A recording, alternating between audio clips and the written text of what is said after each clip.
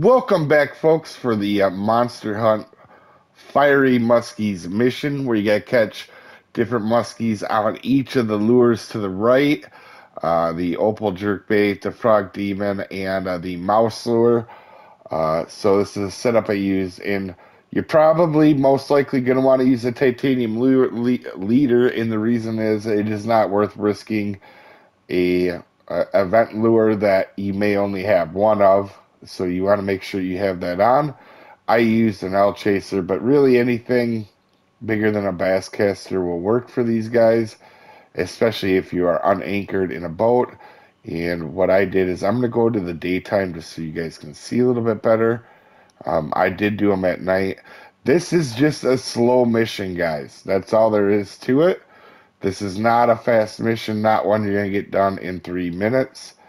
And as you can see, this is where I did I had the best luck over here, but I tried casting at the muskies that came out of the water. I didn't have no luck with that. There was not a whole lot of fast stuff, so I will show you the mark here. But once it did get slow here, um, every once in a while, if you want to move to another spot, you can come over to uh, these marks here. And like I said, at night, but because, um, here we go. And then I would just cast out this way. Uh, but so you guys can see better, I am during the day right now.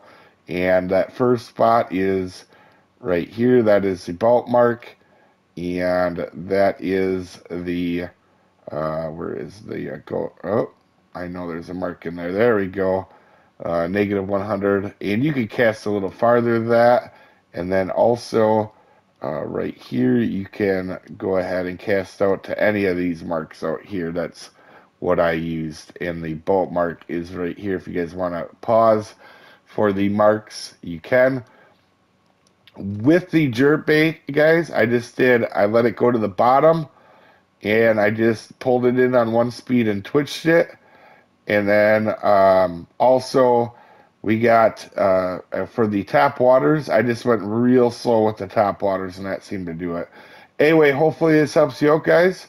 We'll see you next time. Have a good one, folks.